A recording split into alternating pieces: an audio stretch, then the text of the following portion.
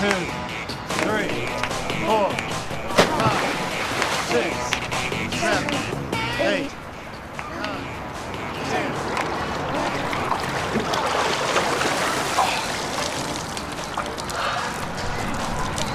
So, mom cornered me outside Carthage jail.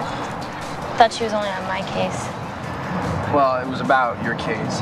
I can't even make eye contact with her. And all she wants to do is take me shopping. A couple more months, you'll have the adoption behind you, then it'll all be over. There's something I haven't told you. I'm keeping it, Ben. What? I'm keeping my baby. Heather and I are gonna raise it together. You and Heather? Heather still sleeps with the nightlight. I can't have this baby and hand it over to a couple of strangers. It would kill me.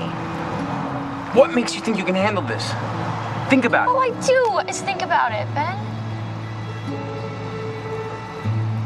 I want to keep it. I don't know how I'll handle it. I, I, I'm gonna figure it out, I guess.